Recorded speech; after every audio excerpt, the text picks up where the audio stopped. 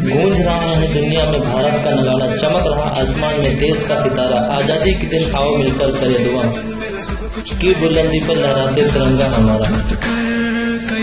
ग्राम सभा गौरव धलोनी रिंकू प्रधान ऋषा बिलोक की ओर से सभी देशवासियों को पंद्रह अगस्त स्वतंत्रता दिवस व रक्षाबंधन अच्छा की हार्दिक शुभकामनाएँ देते हुए।